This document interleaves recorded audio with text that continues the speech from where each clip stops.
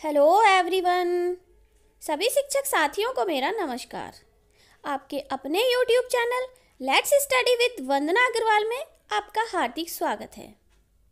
साथियों, निष्ठा का प्रशिक्षण समाप्त हो चुका है और अब शुरुआत हो गई है निष्ठा पर आधारित ऑनलाइन परीक्षा की।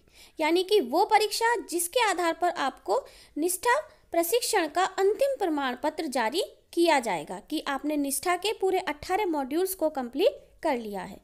तो निष्ठा प्रशिक्षण पर आधारित पहली ऑनलाइन परीक्षा संपन्न हुई है वाराणसी ज़िले में। इसमें कुल तीस प्रश्न पूछे गए थे और आज की वीडियो में हम उन तीन तीस प्रश्नों को देखेंगे जो इस परीक्षा में पूछे गए थे। तो आज का वीडियो बहुत ही ज़्यादा इंपॉर्टेंट है तो आप इस वीडियो के साथ अंत तक बने रहिए और आप भी जानिए कि वो ऐसे कौन से थर्टी प्रश्न थे जो इस परीक्षा में पूछे गए। तो वीडियो पसंद आए तो कृपया लाइक करें और अपने ज़्यादा से ज़्यादा शिक्षक साथियों के साथ भी इसे शेयर करें ताकि वो भी इसका लाभ उठा सकें। और अगर आप चैनल पर पहली बार आए हैं तो कृपया चैनल को सब्सक्राइब कर लें और बेल नोटिफिकेशन को ऑन कर दें ताकि मेरे अन्य आने वाले वीडियोस जो इसी प्रकार की इन्फॉर्मेशन से भरे हुए होते हैं, वो आपको आसानी से और एक ही प्लेटफॉर्म पर प्राप्त हो सके। तो आइए देखते हैं आज का वीडियो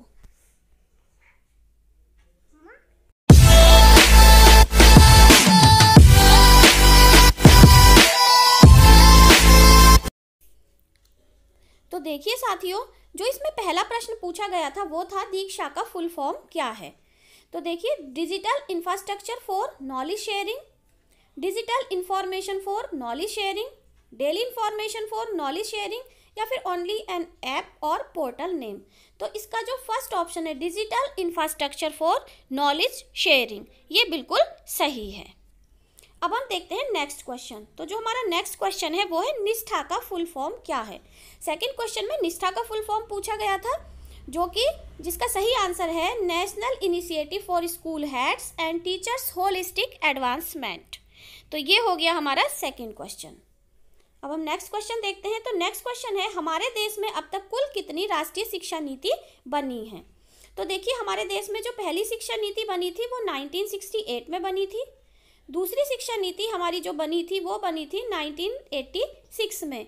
और तीसरी आप सभी जानते हैं जो आई है टू में, यानी कि कुल हमारे यहाँ पे जो तीन राष्ट्रीय शिक्षा नीति हैं, वो अभी तक बनी है।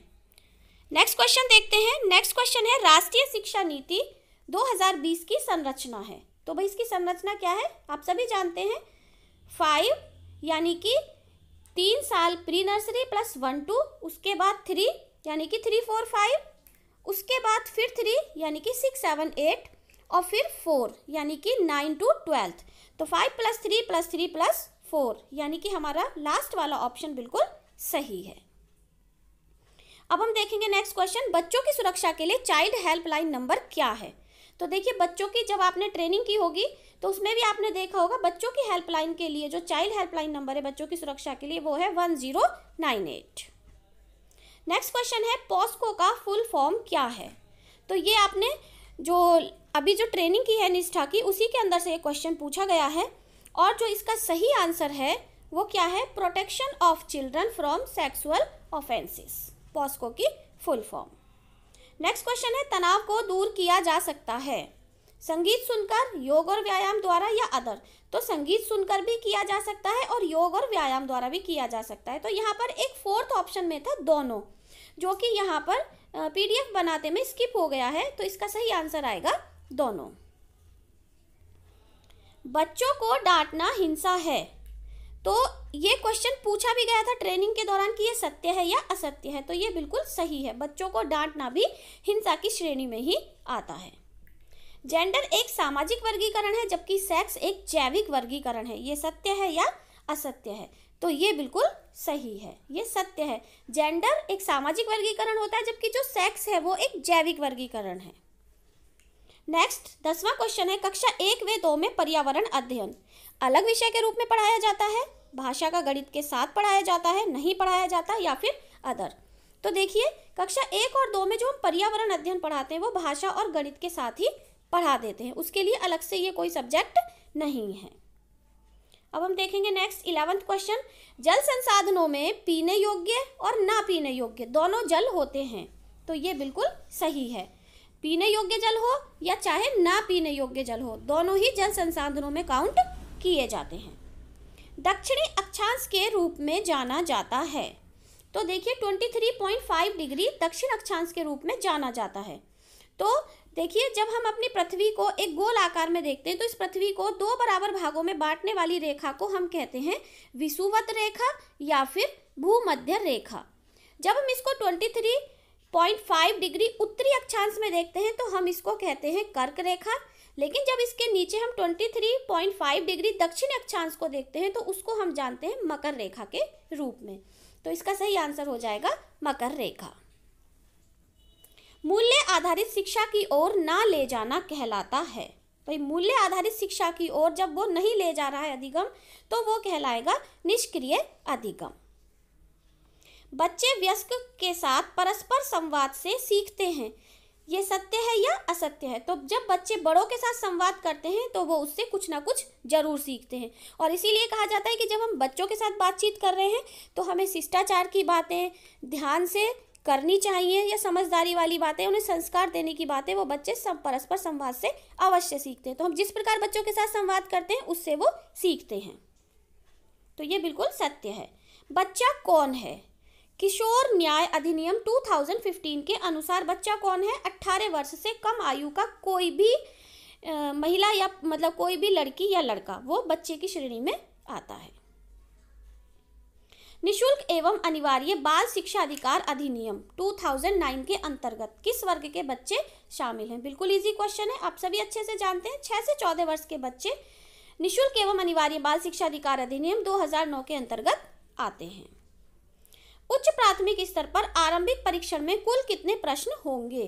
तो देखिए, उच्च प्राथमिक स्तर पे जो आरंभिक परीक्षण प्रपत्र बनेगा, उसमें कुल 25 प्रश्न होंगे, जो कि एक प्रश्न थ्री मार्क्स का होगा। तो ये कुल मिला के हमारे सेवेंटी फाइव मार्क्स का ये बनेगा। और अगर हम प्राथमिक स्तर की बात करते हैं, सिर्फ़ प्राथमिक स्तर की तो यहाँ पर वो होते हैं फिफ्टीन क्वेश्चंस तो ये भी आप देख लीजिए, उच्च प्राथमिक स्तर पर ट्वेंटी फाइव और प्राथमिक स्तर पर फिफ्टीन शैक्षिक भ्रमण एक तकनीक है। तो ध्यान आकर्षण में जो 18 तकनीक दी हुई है, उसमें शैक्षिक भ्रमण को भी एक तकनीक बताया गया है। इसका मतलब ये कथन बिल्कुल सत्य है।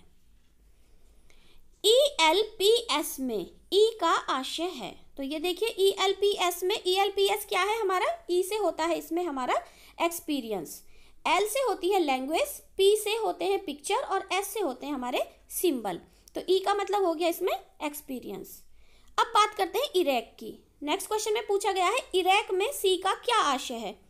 तो ई का मतलब यहाँ पर क्या है हमारा? सॉरी सी का पूछा है। तो इरेक में सी का जो मतलब है वो होता है कंसोलिडेशन यानी कि समेकन या फिर हम कह सकते हैं निष्कर्ष। नेक्स्ट क्वेश्चन है, कक्षा चार में गणित का प्रेरणा लक्ष्य है। तो कक्षा चार में गणित का प्रेरणा लक्ष्य क्या है? गुणा के सेवेंटी फाइव परसेंट प्रश्नों को सही से हल कर लेते हैं।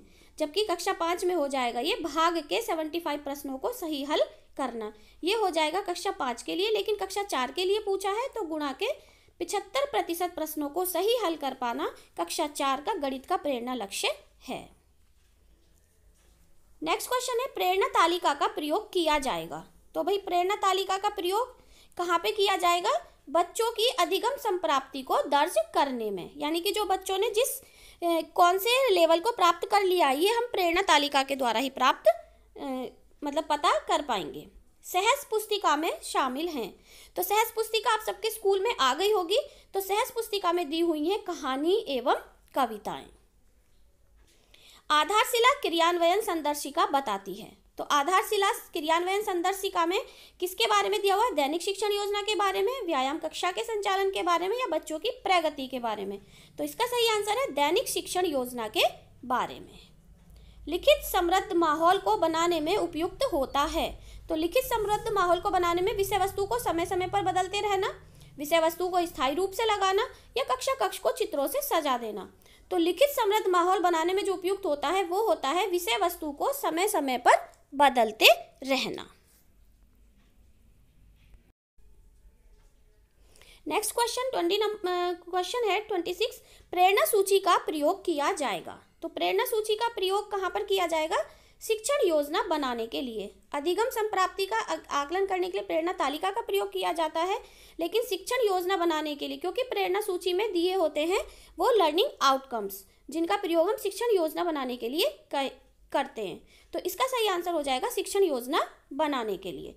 नेक्स्ट क्वेश्चन है, शिक्षण सामग्री शिक्षण अधिगम सामग्री ऐसी हो जो आकर्षक हो। आकर्षक हो तथा सीखने में मदद करे। शिक्षक के द्वारा बनाया गया कुछ भी। तो भाई शिक्षण अधिगम सामग्री आकर्षक भी होनी चाहिए और उससे बच्चे कुछ ना कुछ अवश्य सीखें, वो ऐसी भी होनी चाहिए। नेक्स्ट क्वेश्चन है, जब एक अच्छी कक्षा, एक अच्छी कक्षा तब होगी जब? कब होगी? जब बच्चे सुन रहे हो और अध्यापक बोल रहे हो, या फिर बच्चे प्रश्न कर रहे हो, अध्यापक उत्तर दे रहे हो, या फिर बच्चे बोल रहे हो और अध्यापक देख रहे हो। तो एक अच्छी कक्षा कब होगी? जब बच्चे प्रश्न कर रहे हो और अध्यापक उत्तर दे रहे हो। यानी कि इतना बढ़िया कक्षा का माहौल, सबसे बढ़िया कक्षा का माहौल तभी माना जाता है जब बच्चे कंटेंट से संबंधित प्रश्न अध्यापक से पूछे और अध्यापक उनकी जिज्ञासा को शांत करे। नेक्स्ट क्वेश्चन है एआरपी का कार्य है। तो देखिए एआरपी कौन है? अकेडमिक रिसोर्स पर्सन और इनका कार्य है सहयोगात्मक पर्यवेक्षण करना। ना तो इनका कार्य है निरीक्षण करना और ना ही अनुश्रवण करना। तो इनका कार्य क्या है? सहयोगात्मक पर्यवेक्षण करना। अब हम नेक्स्ट और अंतिम क्वेश्चन देखेंगे। थर्टी क्वेश्चन ये पूछा गया था एक आदर्श या अपेक्षित शिक्षण अधिगम प्रक्रिया में टीचर टॉक टाइम होना चाहिए। तो भाई टीचर का टॉक टाइम कितना होना चाहिए? एक आदर्श शिक्षण अधिगम प्रक्रिया में तो इसका सही आंसर होगा ट्वेंटी परसेंट ट्वेंटी परसेंट शिक्षक का टॉक टाइम हो और एट्टी परसेंट उसमें बच्चे इन्वॉल्व हों।